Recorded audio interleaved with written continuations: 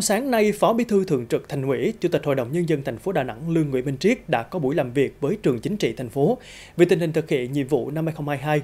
Cùng dự có Phó Chủ tịch Ủy ban nhân dân thành phố Ngô Thị Kim Yến.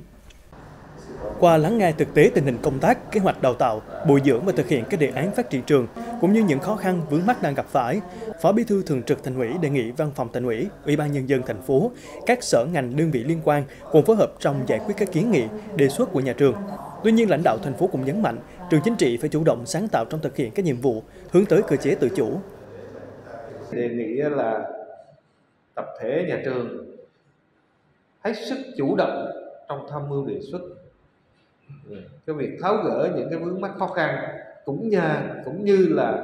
làm phong phú thêm cái nhiệm vụ chính trị của mình giáo viên không chỉ là nước lách, mà còn tham gia xây dựng những cái phần mềm, những cái nội dung để mà đào tạo bồi dưỡng qua cái chuyển đổi số. Chứ không nhất thiết là phải đứng lớp phải lên, giảng bài, phải chuẩn bị bài giảng như hiện nay. Thế nên chuyển đổi số là rất rõ ràng. Thì theo tôi là cái này công chí phải quan tâm nhiều hơn. Thậm chí tiên phong và đề nghị làm thí điểm.